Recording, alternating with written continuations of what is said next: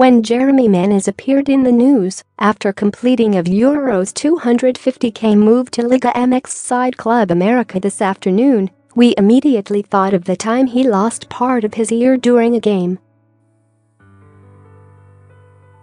The 30-year-old was making his first appearance for French side Bordeaux when the incident happened.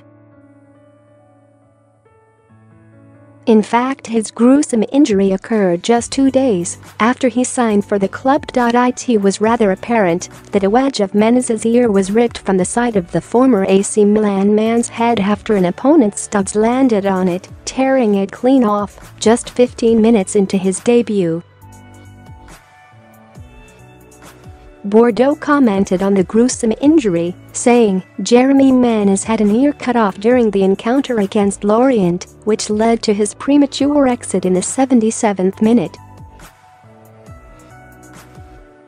The medical staff will take a surgical opinion on whether to operate on the new Bordeaux player. Menez eventually had surgery to rebuild part of his ear. Lorient midfielder Didier Ndong, who now plays for Sunderland, apologized after the nasty incident. I offer my apologies to Jeremy Menez and Bordeaux following a totally unintentional accident, which had unfortunate consequences for the striker.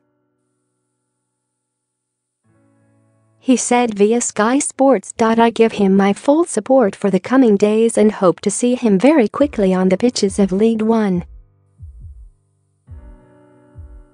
On the topic of injuries, here are some of the worst from gym sessions across the globe.